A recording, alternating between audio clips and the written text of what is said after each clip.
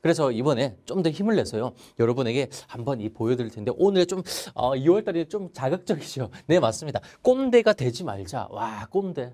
여러분이 생각하는 꼰대 대표적인 특징이 있습니다. 무엇이 있을까요? 내가 말이야. 나 때는 말이야. 나는 이렇게 막 이런 얘기 많이 하시잖아요.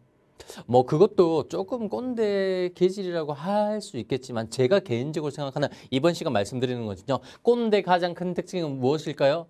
저는 이렇게 생각합니다. 안 들어요. 안 들어요. 네가 뭔데? 나는 나야. 안 들어. 내 알아서 할 거야. 라고 하는. 그래서 실제 저는요. 어린 꼰대들 너무 많이 봤어요. 뭐 공부라는 게 싫은 거 누구나 마- 마찬가지죠. 맞아요. 하지만 공부를 떠나서 저는 이렇게 생각합니다. 공부를 무조건 해야 된다라기보다는 우리가 어, 우리 남학생들 같은 경우는 뭐 게임 캐릭터 이제 가지고 이제 게임을 하잖아요. 그러면 게임을 벌거벗은 그대로 놔두실래요? 아니면 계속 뭔가 입히실래요? 뭔가 입히고 우리가 뭐 아이템을 이제 얻으려면 기본적으로 뭔가 시간과 노력이 필요하잖아요. 그것과 마찬가지죠. 나라는 캐릭터가 있으면 좀 더 얘를요 예쁘게 좀 했으면 좋겠는데 노력과 분명히 그게 중요한데 그 노력을 하지 않고 현재 내 순간 감정에 많이 치우친다는 거. 그래서 점점 더 자기를요 보호합니다. 그게 꼰대 가장 큰 특징 중 하나입니다.